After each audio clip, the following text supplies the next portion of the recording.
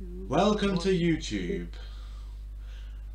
I have a guest on this video, but first let's talk about what the video is before we talk about the guest. So, today's video, as you can tell, is being live streamed because again we have the Twitch thing in the top left. We are going to be doing, uh, going through all of my binders. Uh, I did do this on my YouTube channel, I want to say like uh, beginning of this year, maybe like middle of last year. Um, but this is a full-on update because since then I've got a job. And because of that, my deck collection has grown substantially since then. So we're going to be doing that. So, and then the guest is Khajiit Cook. You're more like a hoarder than a collector if I have to have an opinion on it. And that's So, let's get into this. So we're going to go to this tab. And as you can see, it doesn't all fit on the fucking screen. So I'm gonna have to fucking move. Oh god. Hang on, they're heavy, they're heavy, they're heavy. Oh. Let's show your common bulk as well. Let's No, I'm not going through the bulk. Fuck that. That would actually take all day. It's not your collection if you don't show all of the Kenny songs aren't. No, I'm not going through that because that's technically not a collection. That's just if I need it later on. I'm not classing that as a collection. Hell no. You don't know. There, might be a $100 common card in there. You don't know that. Well, that's a shame that I'm never going to know that, isn't it? Right. Welcome. So we're going to go through, out of all of them, the smallest of the binders first. And as you can tell by the fact that it was heavy by hitting the table, you know we're in for a wild ride tonight. So, I will be opening it. And here we go. So, this is what I call my, um, my, like, I can't think of the right word. So basically this is the binder full of cards that go into multiple decks. So stuff like my Armageddon Knights, my Blackjack, my Ash Blossoms, uh, Artifact Scythe. All of my cards are in alphabetical order, might I add, because I'm a fucking ed- weirdo. I have a name for it. It's called a staple binder. Ah, there you go, staple binder. Uh, we've then got like the blue Mountain for the warrior plays. We've got like the Levineers. We've got the Cyber Steins. We've got Dark Armed Dragon because I see it's actually kind of good in some decks. Like Phantom Knights is the main one that I use it in. Spoiler, I He know. doesn't like a daddy. Yeah. He doesn't like a daddy, you know that. So then we've got all of these, including like the Dimension Shifter for like banishing plays. We've got the Pankratops. We've got the uh, Buster Sword because obviously that's legal still. Don't ask. Uh, we've got ourselves a like obviously our hand trap stuff, so like uh, Effect Veiler, Droll, uh, Phantasma, and all of that. There we go on. This space is where I used to have um, two sets of uh, because there's six here and then there was three here because you can't put nine in one single slot because that kind of breaks the binder. But I traded one of my playsets away because I didn't need the nine to be fair, and I've yet to either fill that slot or move in one slot back, so the slot is filled that way. Next, we go into stuff like our Performages, our, uh, our Predaplant engine. Got Scrap Raptors, mostly for dinos, obviously, but if there's a deck that can use it other than that, then obviously you want to run it with our Scrap Recyclers. We've got our Chien Squire, we've got all this, that, and the other. We've got our Silent Anglers. Oh my fucking god. So we got Skullmeisters, uh, Summon Amongst, Tour Guides. As you can see with the Tour Guides, this is what I was talking about with like the um, Parallel Exceed. Uh, I had, because I've got so many Tour Guides in uh, Max Gold, I had to separate them. There's nine co- copies here. There's three playsets worth, because I've got, as I said, 68 decks, so three playsets is definitely worth having. Obviously our True King Lithosagym, I've only got two, I'm, I'm trying to get a third one uh, of this rarity but it is what it is. And I, as pro- probably approved, probably like uh, focused on, we've got the Yajiro Invaders because oh fuck, he's coming. Uh, I do want to make a deck with him. I just need to work out what deck I'm going to put him in. But that's not appropriate for Twitch. Then we have That the Chaos Dragon engine. Twitch, Well, which is good about him. the tiny Chaos Dragon engine. I still need to get the Chaos Spaces, but they're like £10 a copy at the moment. Then we obviously got the Genex engine, we've got the Dragoon engine. Uh, we skip over, we have our Invoked engine, and we have our Codebreaker engine. Again, this is staple stuff that you can run in multiple decks, so it's in here. Next, we go into the staple spells and traps. We've got our books, we've got our allures, we've got our burials from different dimensions, cool buys, uh, obviously carded the Mind, we've got our cauldrons, our card destructions, our cosmic cyclones, our dark ruler no mores, you know. Uh, obviously stuff that are like floodgatey, so like time, uh, dimensional fissure. Uh, we've got our double summon, we've got our uh, foolish burials, we've got our uh, emergency tellies, we've got our double nothing because obviously you can run the rank 4 Utopia double engine in multiple decks. As long as you can make rank 4s, you can make that entire engine, is quite nice. Obviously our Harpy Feathers, which I've got two of them are go ones because best rarity for it, and also it, again, it's one of those cards that you might run in multiple decks at the same time. We've got our heavy storms, we've got our hey trunades. Mm, less less good, but it is what it is. We might be able to play it against like I don't know, amazement or some shit. Uh, we've got our Igknight reloads because obviously I play a lot of pendulum, so that's actually two play sets worth in there.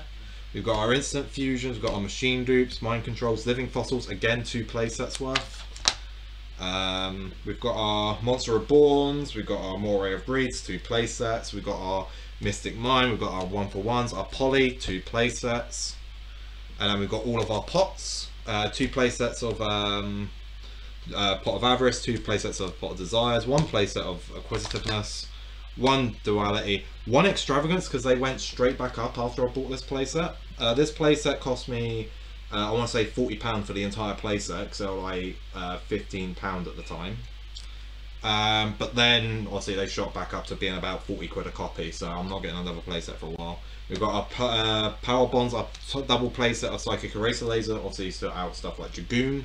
We've got our Raigeki, we've got um, our Rank Up Magic Barian's Force. As stupid as it sounds, that actually runs in multiple of my decks I play. I play Paleo Frogs where I run this, Ojama where I play this. It has a use in a few decks. We have our Reasonings, we have our Rotors. Then obviously Salvage, Scapegoat, Set Rotation, Super Poly. Obviously there's like two play sets in there. You'd be dumb not to. Salvage I've got two play sets of because I've got multiple water decks. We've got our Symbol of Heritage playset because as long I know a lot of decks can't play it to its usefulness, but it can be used in Warrior Link to be the equip that you send. Plus, also a lot of Warrior decks can send all three copies of their card to the grave. And then, if you have it in hand, you can still rebirth, like say a Stratos that you've used three times.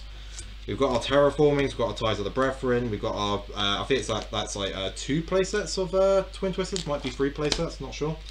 I'm hoping it's two because otherwise it's going to break the binder. Uh, we've got our wear cells, our upstart goblins, our uh, world legacies, and then we go into the traps. We've got stuff like our floodgates in the sense of like anti-spell fragrance. We've got compulsory escape device because haha, fuck you, Magnus.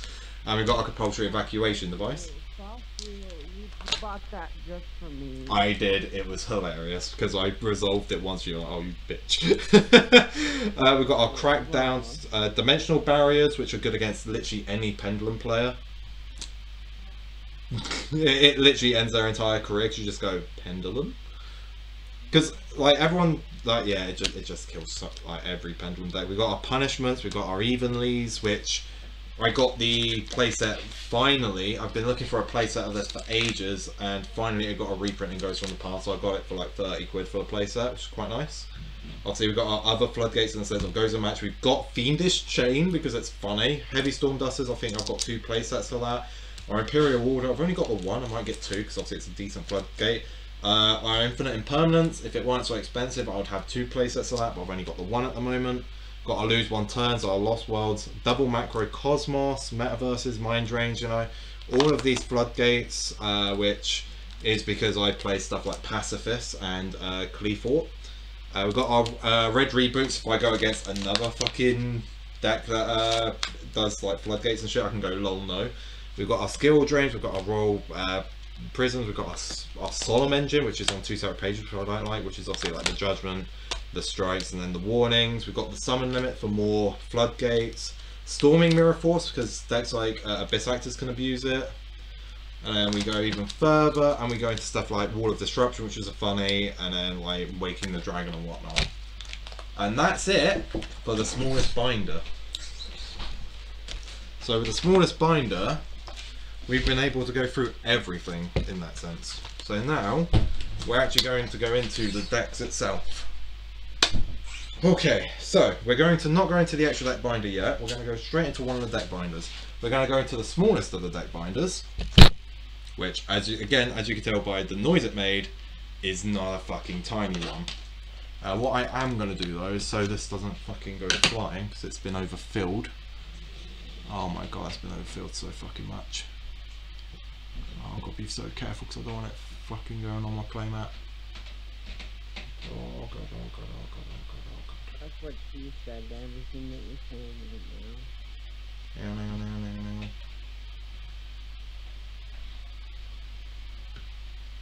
There we go, I've got my coffee. It's like right on the rim, so I didn't really want to deal with it in that sense. So let's open this binder. This one I'm going to have to move better. This is literally. Oh my god. Okay, never mind. You just put a whole bunch of stuff. That's what she said moment. I'm like a fucking 12 year old. Just continue. That's what he said. Right. So, we're going to go into. First thing you see is the most degenerate thing already. We've got our Shaddolls at the front of this binder. Uh, and as you can see, we've got the entire core except stuff like Schism. We've even got the Nephe Shaddoll Fusion, which is a decent equip to be fair. So what I've done, what I do with decks, and I feel like I have to put this out there before we go any further, is decks that have synergy together, um, but only really have synergy of like one or two decks. I tend to still put them in the big binder, but then I put the decks that they have synergy with next to them. So, for example, all of my Pendulum decks are in this binder, and they're all like right next to each other in case I want to share, like, say, an Abyss Actor, Curtain Raiser into Dinomist. So we've got our. I put Shaddoll here because even though it's very minute, you do have the two uh, pendulums here. So they they technically pendulum. So we've got ourselves that. We've got ourselves the uh, Dynamis Plesios and whatnot. Dynamis deck. Followed immediately by a Morphage, which is one of the worst decks I own. Like, holy shit. It's fun, but oh, you cannot make anything with this deck. That's the problem. And we go straight from the terrible Pendulum deck to what people call the best Pendulum deck, which is Pendulum Magicians, including like our um, Skullcrobats, our Tuning Magicians, our Double Irises. I've even got banned cards in here, like uh, Astrograph, so if it ever does come back, I can immediately play it. Um, I think I've, the only card that I don't have when it came off the ban list was uh, Skullcrobat. So that, that that's how much I like to prepare. I wasn't ever expecting Skullcrobat to come back, to be fair. And then straight after Pendulum Magician, we have the Abyss Actors, which obviously is good because uh, Curtain Raiser tends to be a card you run in Pendulum Magician. Um, and we go through all of that, which is quite nice. And then straight after that, you look at it and you're like, oh, it's an Exodia deck. That's the end of his Pendulum decks, isn't it? Nope, you run a Pendulum engine in this Exodia deck, which is a Heart of the Underdog version. So the Pendulums are so you can get massive monsters onto the board constantly while trying to get the Heart of the Underdog to go off while you're using the reload. And then because you're Pendulum summoning so much, you can get something like Steel Ogre Grotto out. And Steel Ogre Grotto being a level 5 machine allows you to go into Nova and Infinity in this deck. And you're able to make loads of... You, you can even make like a Borrelsword and whatnot in this. So it's... The extra deck really makes this, but it's still playable, and it's technically a Pendulum deck, so the amount of Pendulums I play in it. And then straight next to it, Qliphort. My very first ever Pendulum deck. It's uh, Floodgate heavy, not gonna lie, but it's the very first Pendulum deck I ever made. Um, not IRL, because I built this like a month ago, but on like uh, Legacy of the Duelist, it was the first ever Pendulum I ever made. And holy shit was it worth it. I fucking love this deck. Um, Cross Super Quant. it's not knockoff Super Quants, it's better Super Quant because it's actually consistent. And then we go straight into the Yeah, I kicked your butt with my Super Quant all the time, and you like that. That's you say that, but how many times have I beat your butt because I go recreate and you're like, shit, I can't use blue layer. I play around that. I play around that. It doesn't recreate as much recreate the card that just like one special something, and then I No, it stops level 4 blows when they're normal and level 5 and above when they're special, but then don't forget I'm also running other floodgates like lose one turn and that, which also fuck you over. That that card does kind of. So then we have our metal foes, which you're gonna you're not gonna believe what deck comes after this, and I'll give you a hint. The only reason it comes after this is because of the metal foes fusion. We're done with pendulum completely now. Metal foes fusion is the la is the Wait, I card that's in common. Yeah. I know what it is. I know what it is. It's uh. Never mind. Uh, yep, yep, yep, yep, yep. Yeah, yep. Sky Striker. Because you can for like Foolish Burial Goods, the um, uh, Metal Foes Fusion and whatnot. But obviously, we now have Engage. back. So Engage makes this deck really good again. Uh, obviously, as you can see, I've got the entire core again, including weird like cards that you wouldn't think putting here, like Herald of the Abyss. But I've heard it's actually kind of decent in the deck, so I've put it there ready, because I don't, won't play it in anything else. Then we go into, this looks like a mishmash, because it kind of is. We've got our Appliancer, then straight, because there was nothing to put Appliancer next to, and there was not really anything you could put next to Sky Striker. So I went straight into Appliancer, then Appliancer, again, nothing to put next to it, so I went straight into Pacifist, and because Pacifist uses Fossil Dig, straight after that is my Dino. Now, Dino isn't complete yet. I still need to get the Archosaurs, I still need to get the Giant Rexes and whatnot, so this is still being worked on. But right next to it... To say one thing, Hmm? what is pacifist about the deck pacifist? You're literally doing a stick the whole time you're playing like that. There is no pacifism in that deck. Oh, no. you- You're Oh, murdering no. people's dreams. Yeah, why is it called pacifist? You're not being a pacifist. You're just being a dick saying, hey, you can't play YouTube. Mm. And straight after the dinos, it the, the reason I've put these two together, dinos and then zombies, is because their structure decks came out at the exact same time. Dinos got a lot more play, obviously because they became meta for a long time, but then zombies were sort of pushed to the sideline. But I would argue zombies are the better deck, personally.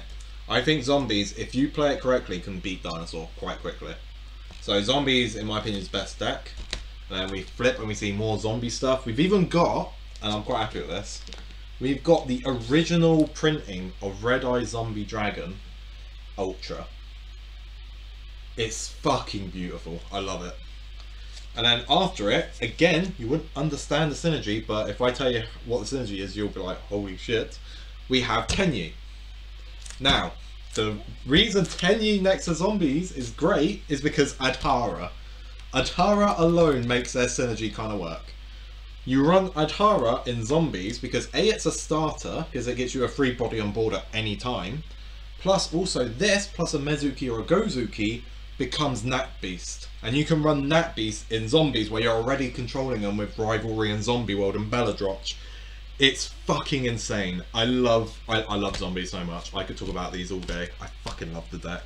Then straight after Tenyi, we go into Zodiac because again, no synergy, but it is what it is. So here's our Zoo core. Uh, we've even got, as you can see, Barrage, but we actually have double Barrage. Uh, again, if it ever like comes off the list a bit more, but obviously because Drident just got hit, I doubt it. But it is what it is. Then we go straight into Battling Boxer. this this this binder's all over the place. So with Battling Boxer, I I was planning on building it anyway, and then Simo like used it to take down Dragon Balls. I was like, okay, this is the kick in the ass. I need to actually build this. So I built Battling Boxer, and then right next to it, Heroes. It looks like Destiny Heroes, but if you flip, it's actually me slowly building Omni Heroes. Uh, I've even got the Dark Calling ready for when I do get the Evil Hero stuff. I've got, I all I need is Liquid Soldier, Evil Hero stuff, and uh, one other thing I was missing. Oh, the Vision Hero Faris and the Increase. But again, I have the Vi on already, so yeah. And then that's it for this binder. As I said, this is the smallest one because this is the incomplete binder, Yeah. uh, If which any of you guys are a philanthropist and you have extra money, uh, give Richard here uh, the hero stuff. He's slowly been wanting to build it, and it's taking him forever, and he really wants. I mean, it's what it is. I mean, because once I build heroes, I might try to max rarity it. So, right. Uh, I'm going to drink a bit more coffee because I've got to feel like I feel like this next one's going to make my coffee spill a bit. Ooh, Ugh. that's hot coffee. This is a completely filled binder. Every slot in this binder is filled. So this fucker's heavy. Uh, because as you've noticed, I run multiple copies of the same card in the same slot because then it saves room, but also makes it heavier because of it. So, we have this binder, which is starts with super heavy. Ironically, it's one of my favorite decks of all time. Um, I built this, I want to say, half a year after I started playing Yu-Gi-Oh again in 2016, and I just love the playstyle. Just attacking from defense position, like got me hooked instantly. And then it's a monster card only deck, And then it's a monster card only deck that attacks from defense that also makes it so it's impossible to move the cards sometimes. Yeah, it, it's it's a really fun playstyle for me. And as you can see, we've got the one Berserker Soul because, haha, Stealth Ninja attack directly, Berserker Soul for game. Uh, we have the Door Core. And the reason we've got the Grey Core here is right next to it, we've got the Kaiju Core. Now, the reason we've done it this way, well, I've done it this way, is because obviously you run Jizakuru in Super Heavy. But you also run uh, Kaiju in Gradles. Now, I could put Gradles on the other side of Kaijus, but if I flip again, we have our Relinquish deck. And obviously, Relinquish Kaiju is a bigger thing that I build more than Gradle Kaiju. So I decided to do it that way because the Gradle core is so small, you can technically still have them both on the same page. It, it still makes sense to me. And then obviously straight after the Relinquish deck, we have our Nekroz. Because Ritual, this is where all my Ritual decks now lie. Woohoo! Every binder has their own little story. Uh, so then after relink, uh, the Necroses, we've got our incantations to help like uh, Nekroz. You don't run incantation in Relinquish because obviously you're running a Kaiju engine. But you do run it in Nekroz and you also run it in Megalith. this is the end of the ritual decks, but I think it's a decent end because obviously Megalith was actually uh, seen to potentially be meta at one point. Because how much they spam the board. Next we go into Fluffal, another deck from my past that I call one of my nostalgia decks because again this is what this is actually the first ever deck I built that wasn't with a structure deck. Straight up, like IRL, first ever deck I built that wasn't a structure deck was Fluffal. Because I went from zombies when I was a kid when I bought the Zombie World structure deck. Uh, and then I went I left the game until about 2016, came back, Played a bit of Zombies until the Ancient Gear structure came out, which wasn't that long after. Played Ancient Gears, which was then a structure. And then I slowly built up my Fluffal deck. And then I had Fluffals. And this is the very first packed deck rather than a structure deck deck. So it, it holds a place in my heart for that reason. That's why, even though there's like 600 of the fuckers, I have every single Fluffal card out there. Um, then straight after, we've got our Salad. Now, this is a deck I actually built recently, but I had to move shit around to get Tenyi next to um, Zombies, so Salad actually ended up being moved to this binder. Because to be fair, Salad didn't really have any uh, correspondence with any deck anyway. So, yeah. We... I know you don't.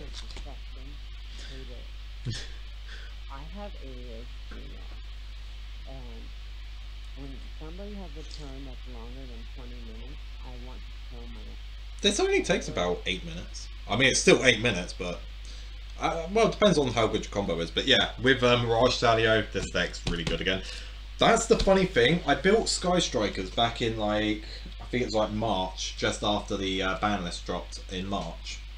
So I built Sky Strikers before we got engaged, and I built Salad literally a week before the next ban list dropped. So I I built two powerful decks from the Eternal format before they got their cards back. But after the ban list before that though. So literally within the ban list season I built two really strong decks and then got the card that made them strong again. So I love it. Um, obviously we've got stuff like Cynet Mining and that in here.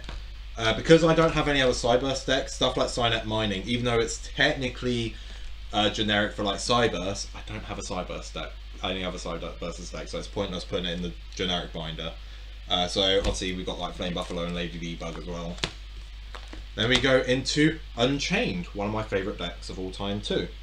I have a lot of favourite decks, I'm not going to lie. Uh, because I, I build decks because of their playstyle rather than how good they are.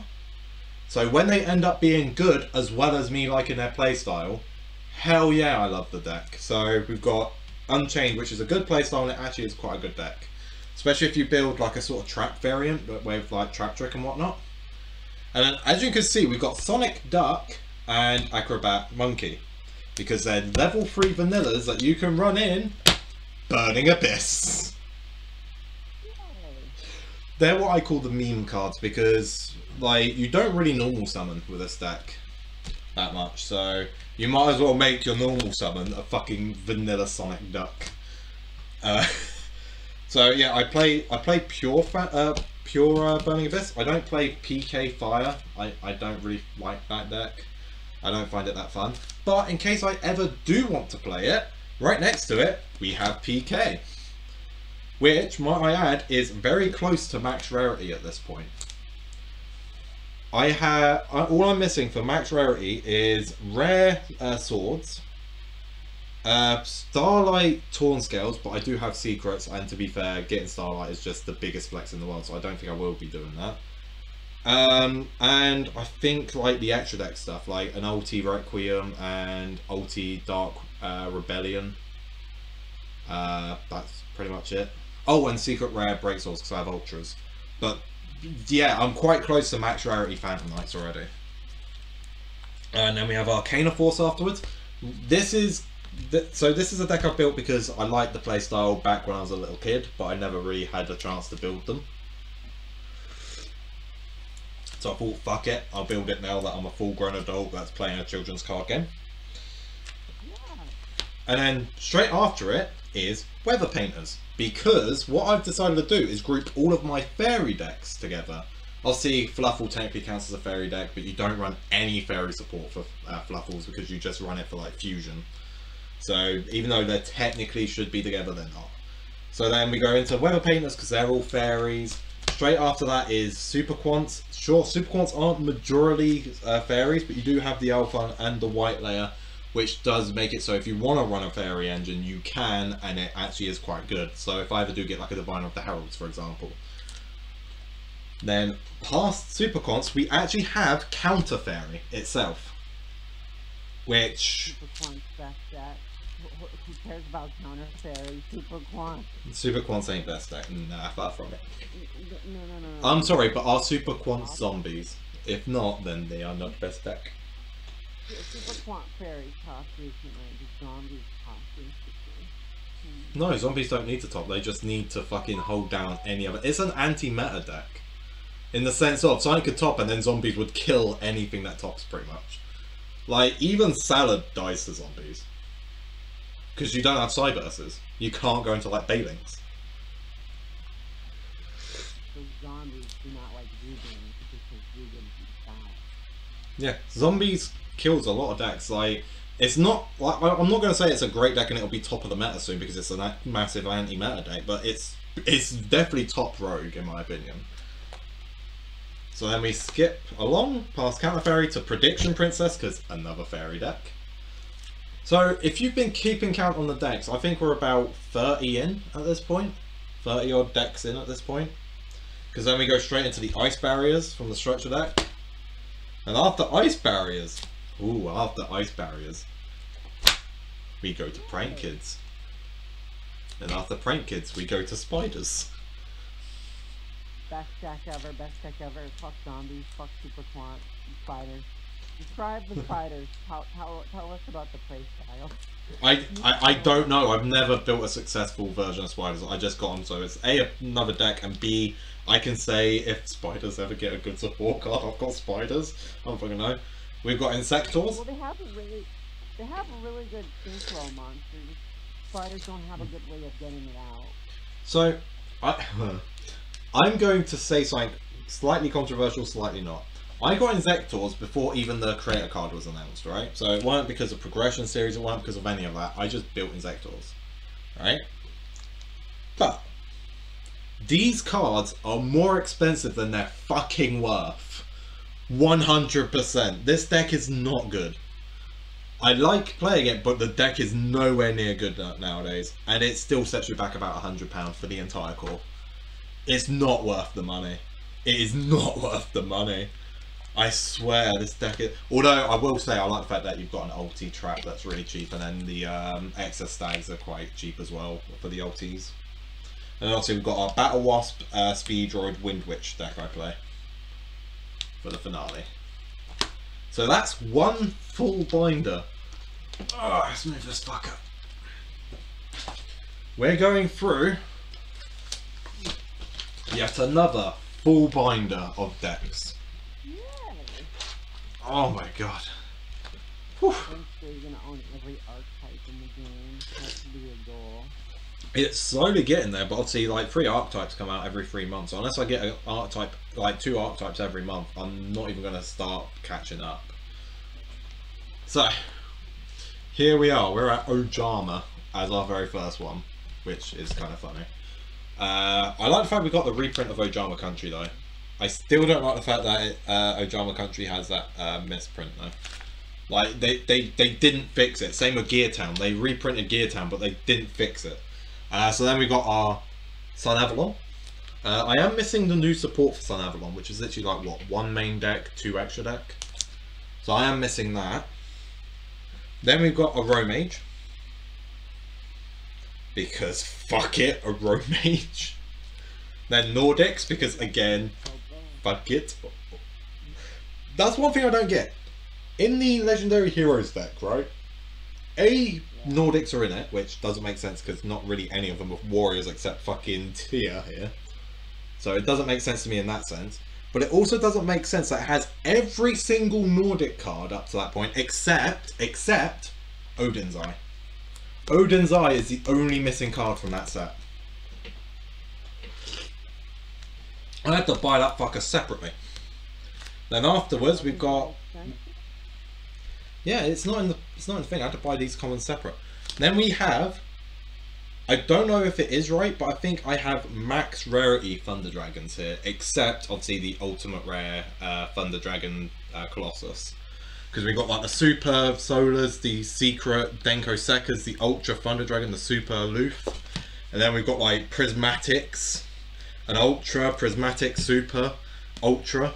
I think this is close to max rarity if you if I get the ulti Colossuses, which is quite nice.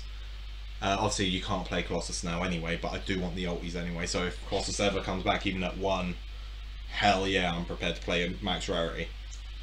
Then we've got our Trickstars, which I do have technically max rarity because uh, I've got the ulti Lycruses, which if I take them out, we actually have the ultimate rares which is uh, really nice. I got these for cheap as well. Uh, I have a mate who lives near me, who when uh, Light Stage got hit, they didn't want to play the deck anymore because obviously it's not that consistent anymore. And he was a very big Trickstar player. He had like ulti, Lycoris, he had all of that. He, he, he loved the deck. He played it with pretty much any combo you could run it with, even the Sky Striker engine. Uh, but when like that got hit, he didn't want it anymore, so I bought it off him for like fifty pound, and that included the free ultis, which meant the ultis came to about what, uh, ten pound a copy. So, yeah, even now they're like twenty pound a copy, which is quite nice. So I've definitely plussed off of that. I'm never gonna sell them, but I've definitely plussed. Uh, straight after that, we've got what I'm gonna call the Rocket deck, because even though technically it's Dragon Link. Dragon Link is dead without certain cards now because obviously Elpy's gone. So this is more just rockets. I'm gonna call it.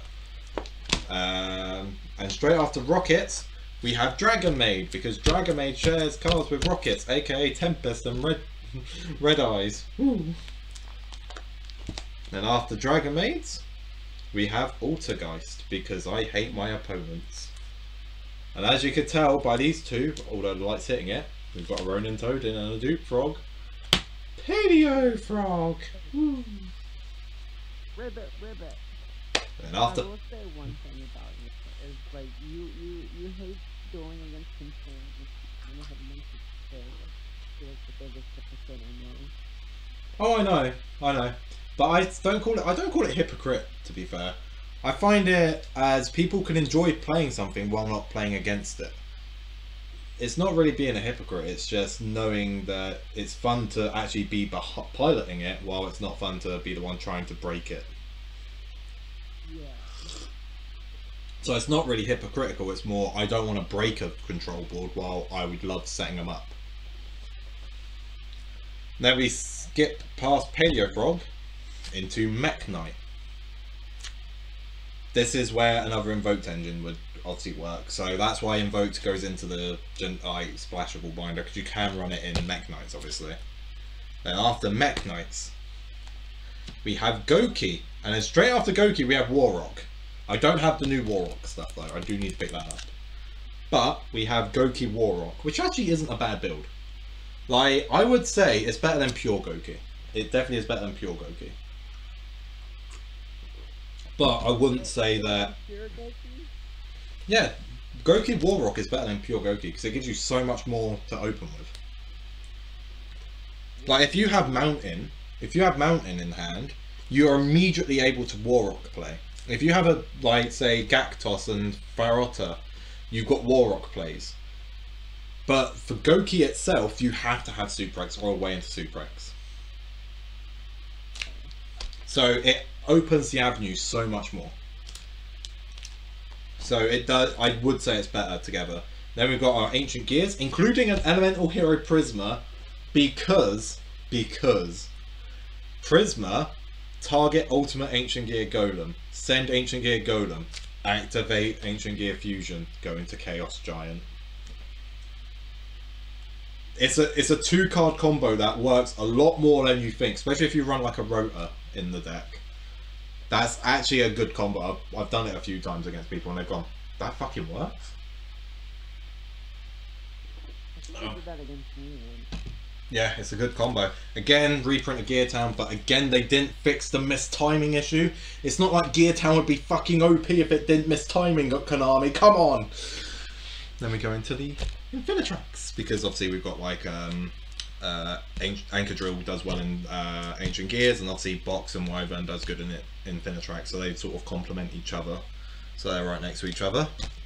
Then straight after that, we've got our Jinzo. That's right, your boy plays Jinzo. It's a bad deck, but it's a fun one. Especially when your opponent doesn't know what the deck is. Like, a lot of, lot of players know that there is a Jinzo deck, but they don't know like cards like Law of the Cosmos exists. So when you say activate Law of Cosmos, I'm like, the fuck is that? What does it do? so, yeah, and then obviously it uh, carries out to over here, and then we have our Gren Maju deck which is then immediately followed by Golden Castle Stromberg deck, because obviously Golden Castle gets played in Gren Maju. Then we have Springans, because after Springans goes Time Thief. One of my favourite decks of all time. I know I say this a lot, I've said this a few times in the video, but genuinely, the second I got a single copy of Redoer, I fell in love with the deck. So I built it, I've got as close to max rarity as I can. The only thing I'm missing is the Starlight Perpetuas, and that's it. Um, so yeah, I, I love this deck. I, I just love this deck so much. Uh, and then we go into ABC, which is another deck I love, but apparently Konami does not feel the same way. Because holy shit have I had a weird fucking roller coaster ride as an ABC player. Oh, we're going to we're going to hit A because of Firewall OTK FTK. Oh, that's kind of stupid. Okay, we hit Firewall so you can have A back. Yay! Like one or two lists later, oh, we're gonna hit this instead. Like they even hit Union Carrier. I know why they hit Union Carrier, but all they have to do, all they have to do, not to not kill us, because even though we still won't be able to make full use of Photon Orbital, if they give us a Union Carrier with the errata, where it can only equip Union monsters from the main deck, we could play the deck again.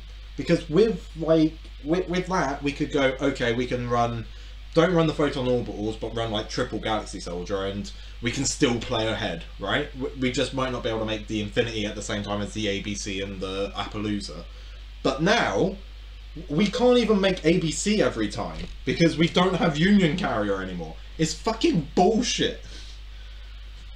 Run over that. I, I don't like it. I'm sorry. It's so dumb.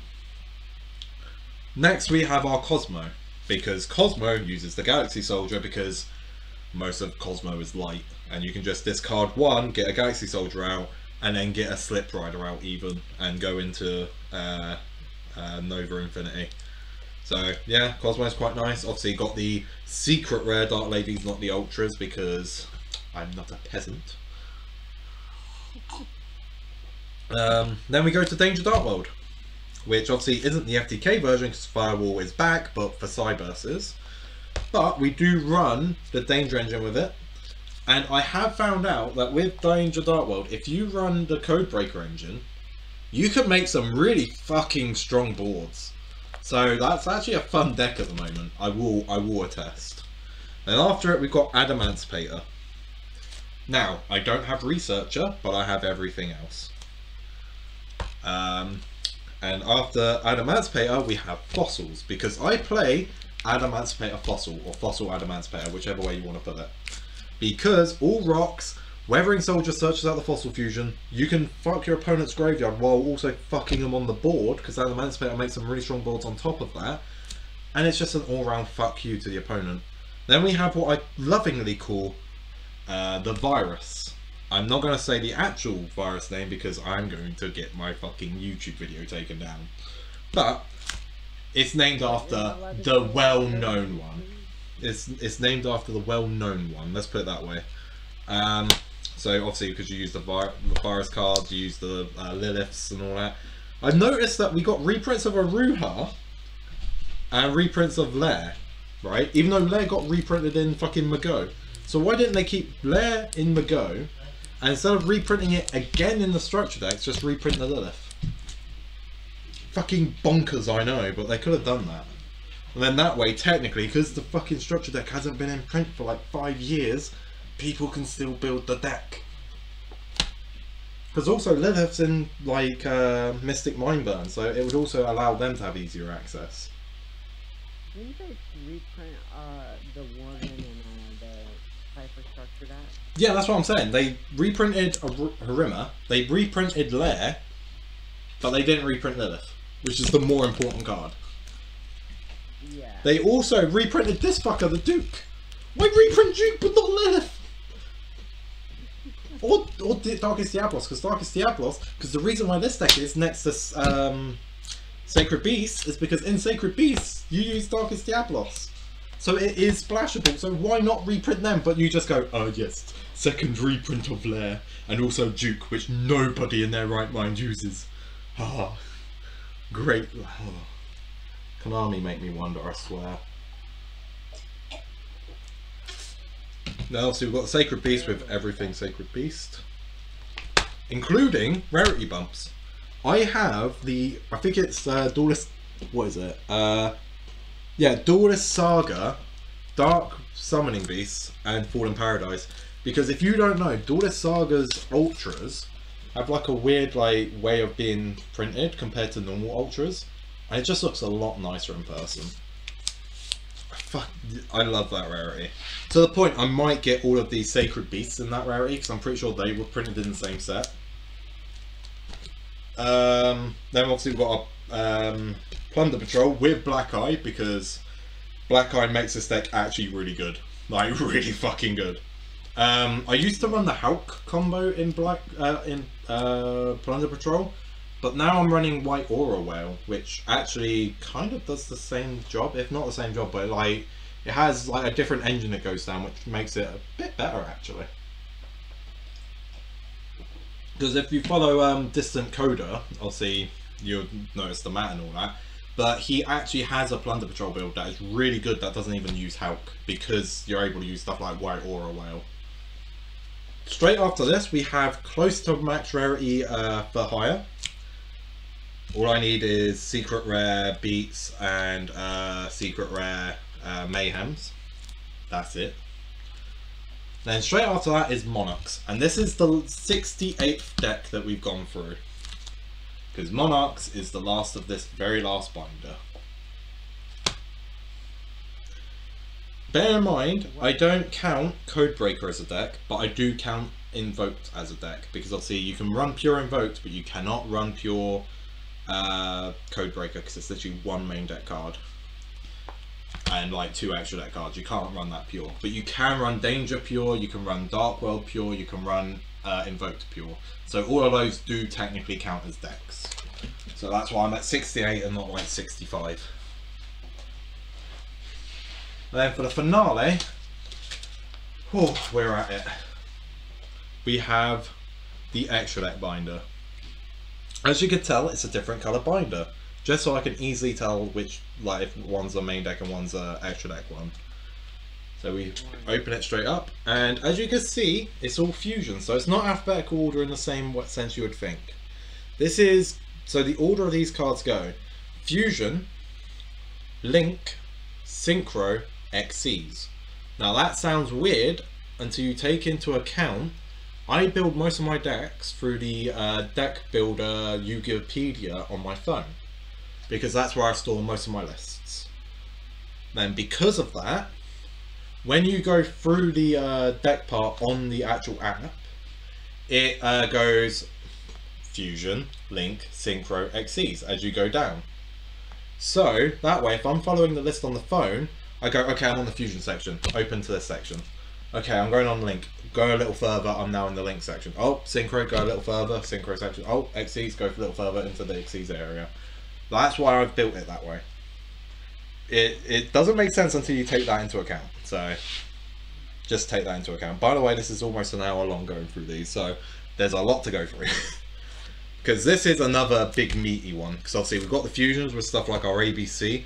I'm going to not talk about uh, cards that go into decks themselves. So like, I'm not going to talk about ABC because we went through the ABC deck. I'm instead going to talk about generic cards that can go into multiple decks that aren't archetype specific. So there's nothing there, for example, but on this page, again, nothing. All of these are stuff. Well, actually, no. Dragon Necro is a zombie card, so even though technically it's also not part of the zombie archetype, you know. So that's a generic you run. Um, if we go a bit further, there's no generics on this side because they're all stuff like Metal Foes and Fright Furs and whatnot. And then we've got our Invoke stuff. We've got Kaminari attack for the um, Thunder Dragons. Uh, we go a bit further, Masked Heroes, Odd Eyes for the few uh, Pendulums, because obviously, uh, like, even though I technically have a Pendulum deck, they aren't an Odd Eyes deck, so it's good to point out the Vortex there. We've also got Mud Dragon for Super Poly Target. Then we go a bit further, we've got the Predator Plants, we've got our Dragoon, and then we've got obviously like our Starving Venom, our Last Warrior, uh, we've got obviously Vision Hero and that, even though technically it's part of the heroes, I still feel like I have to point out because it's not a hero per se in a sense. In the sense of like it's a Vision Hero rather than an Elemental, Destiny or Evil, which is the ones I usually go for. Uh, we've got the Abyss Act, we've got the Aleister, that's obviously from decks, from deck, from deck. Apollousa isn't a deck specific, but obviously I have like five copies of it because it's cheap as a go and it's uh, like you use it in basically any link deck. So if you're running a link deck, you're probably running this. We go a bit further, there's the Appliancers, there's the Mage, Artemis for the uh, invocation core. Then we go a bit further, Beat Cop and the Borals.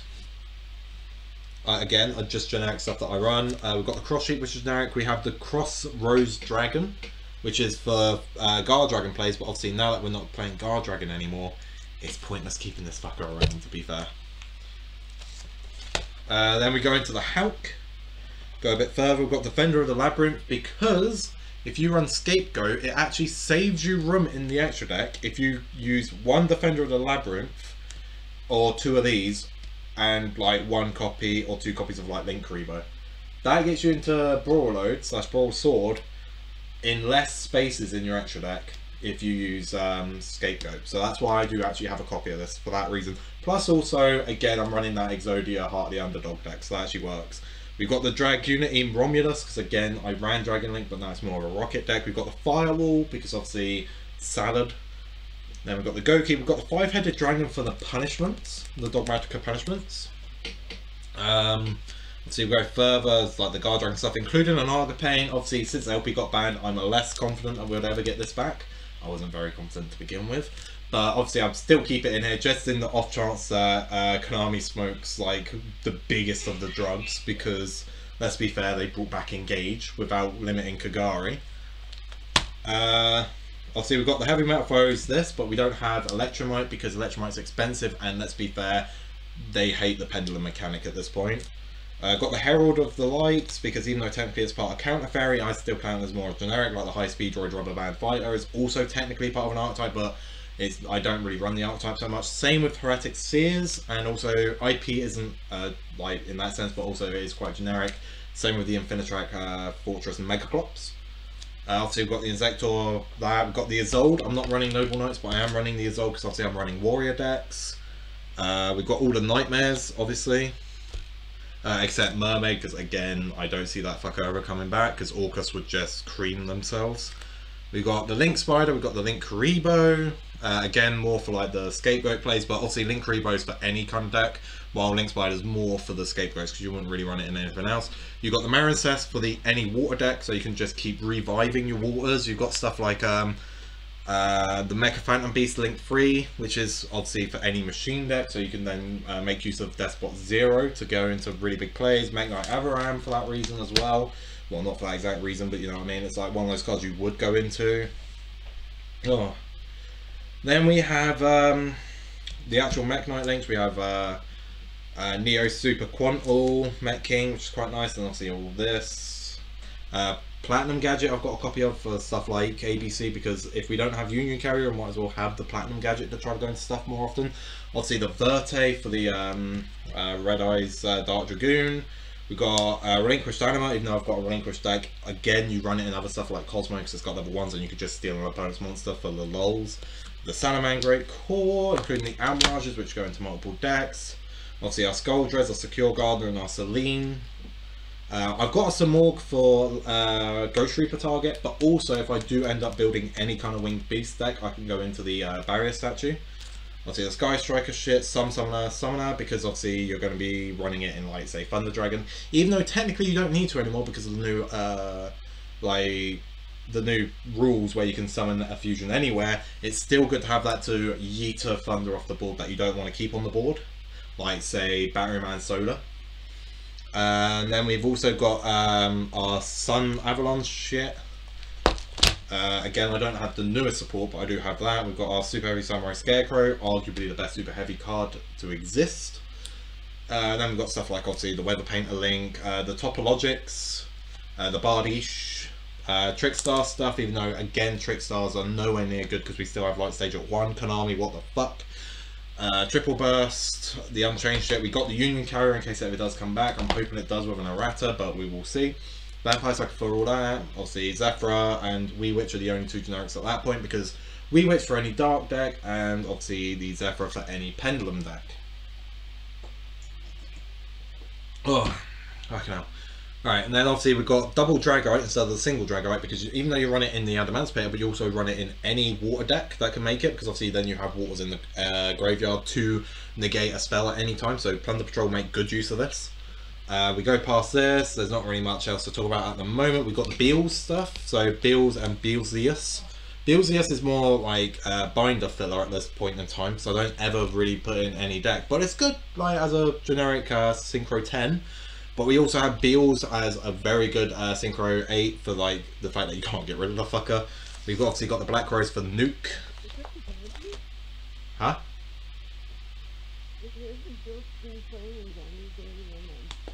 Uh, yeah, Beelze is in Zombies, but you don't run Beelzeus. Beelzeus is like a weird Synchro 10 you never go into. Mm. Then we've got the Borreload Savage for obvious reasons, Desert Locust for the Hulk if you ever want to go into that. We've got Ultimate Rare Doom Kaiser. I love my ulties, so I'm glad that Zombies had so many ulties. I am hoping to rarity bump them. We've got stuff like Desert Locust, as I said, uh, Crystal Wing, Crystal uh, Clear Wing instead. Obviously the Draco can be used in multiple things, same with the uh, Dewloren and the um, uh, Gungnir and Brionac to be fair. Then obviously we've got the Hot Reds, we've got uh, Nat Beast and Nat uh, Dragon. Is it Dragon? No, Barkion, sorry. Uh, obviously the Metal Marcher for, again, everyone say it at the same time, Halky Fibrax. Um, we've also got the Herald of the Arclight, so obviously rituals love it, and there's a good way to abuse it there. Obviously, I do have the Aesir monsters in here, but I don't seem to use the Nordic deck. I more use them for like targets for punishment, because obviously they've got very high attacks. Um, obviously the ulti revived King Hearts Des, Omega, of course Omega. Uh, Stardust Dragon is technically generic, there's no Stardust deck that I own anyway. Uh, same with the Shooting Riser and the Stardust Charge Warrior, although Shooting Riser is more, again, everyone at the same time. Halky Five, right. So, and then we've got the entire Super Heavy Core, including ulti uh, uh, Susan Owos, which I'm quite happy with. Uh, obviously, then we've got the four, and we've got the Trishula. Only a single copy of that, but to be fair, you don't need more than one at this point. Triple of the uh, other Trishula. We've got the Ultimaya Tzolkin, which is actually quite nice because obviously at any time I can just set a card if I can make this and then just go lol I now have fucking Crystal Wing. Um, Underground Arachnid is the uh, uh, insect that you're talking about that you could go into in spiders. You should be able to go into it in spiders, but you cannot because there's no tuners, and if there is a tuner, it's a really shit one.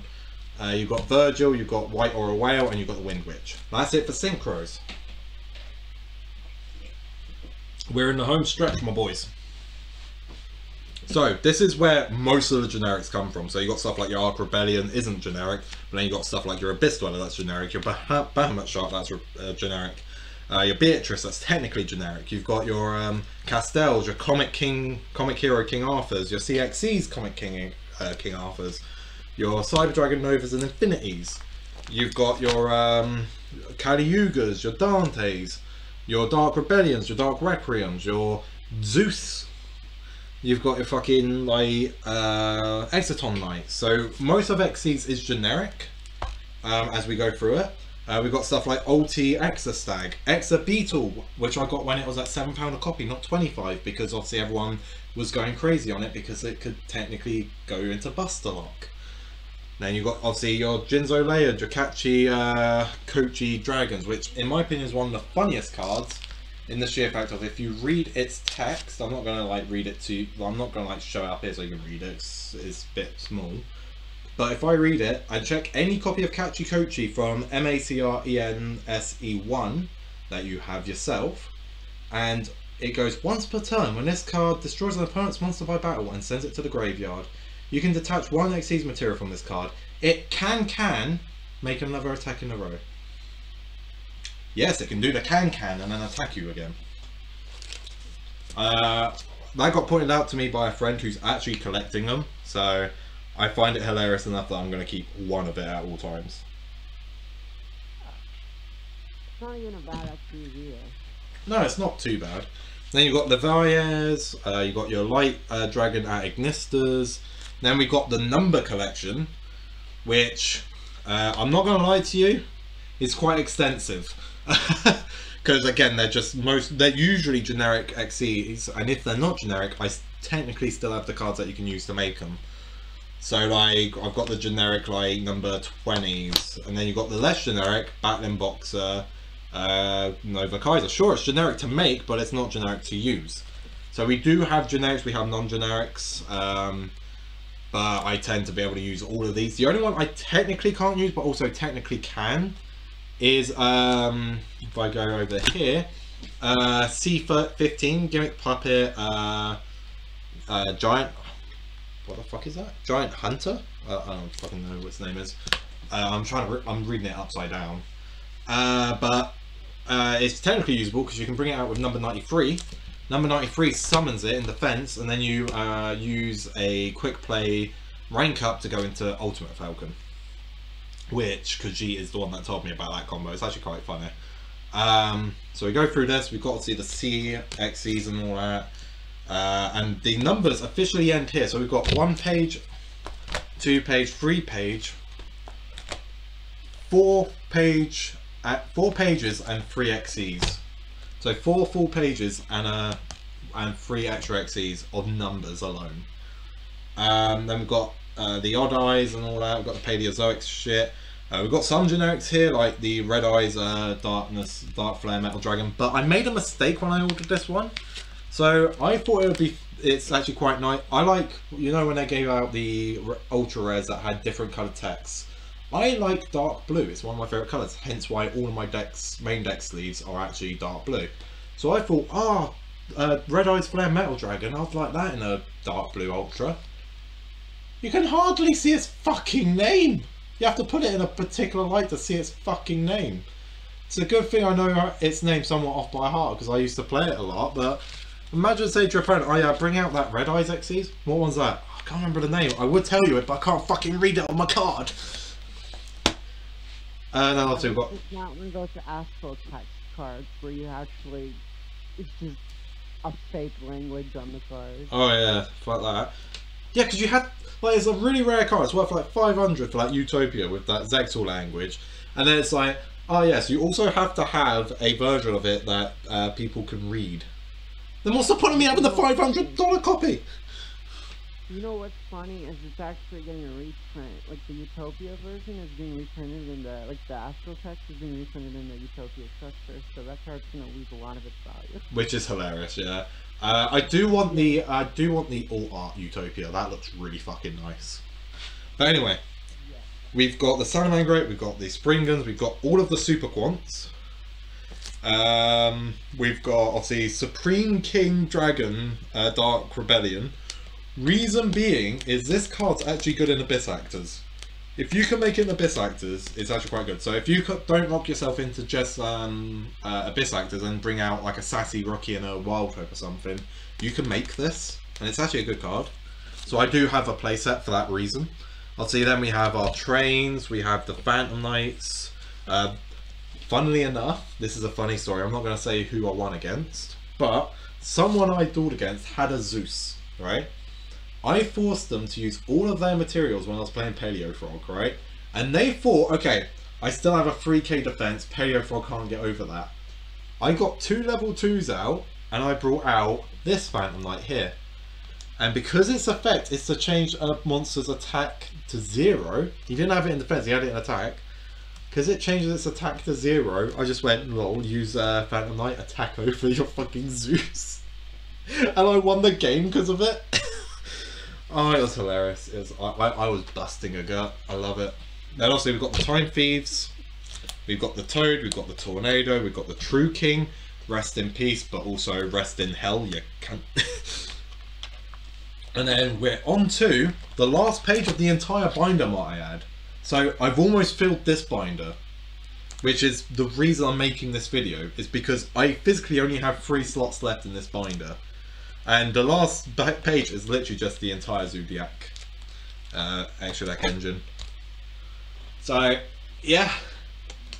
Uh, which actually I will say, I do have the uh, super rare Boarbows, which is quite nice. Uh, but I also have one Broadbull. I want to get another two Broadbull because then if it ever does come back, you know, to be fair, I might get two two more Broadbull and get a uh, barrage. So then I've got a playset of every zoo card because then I could just say to someone, "Hey, do you want, can I play a card without a ban list? Like play a deck without the like with like three cards at a ban back?" Yes. Ooh, ooh, ooh, ooh, ooh, I'm going to play full power zoo. About, uh, Zoodiac. Here's the thing about Zoodiac.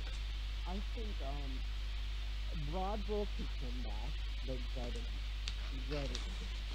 I'm sorry. Let me read Broadbull and you fucking say that again. No, no, no. They hit Drident.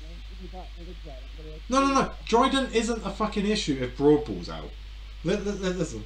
Once per turn, you can also exceed Broadbull using one Zoodiac. So basically any Zoodiac like card anyway. This is two level 4 monsters, so this is generic like Chakanine is. Right, so you can use this in a non-Zoodiac deck as well if you so wish. Uh, any material comes its material. This card gains attack, da, da, da, all Zoodiac normal stuff. Once per turn, you can detach a material to add one Beast Warrior type that can be normal summoned or set from your deck to your hand.